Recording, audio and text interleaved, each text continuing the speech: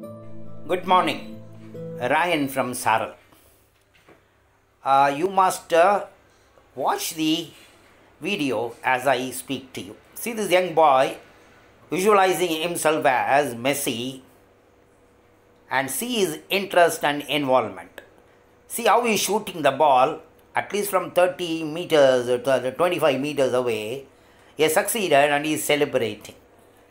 So it is the watch the next boy.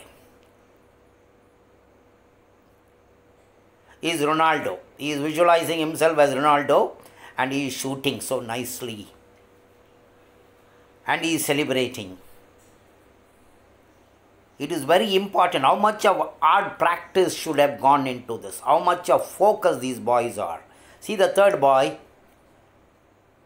see his commitment, see how he is aiming, see the different uh, approach and straight into the goal.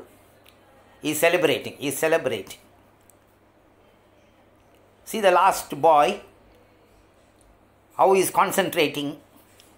It's very important to concentrate. See how the ball is reaching the goal. It is within the goal a small circle.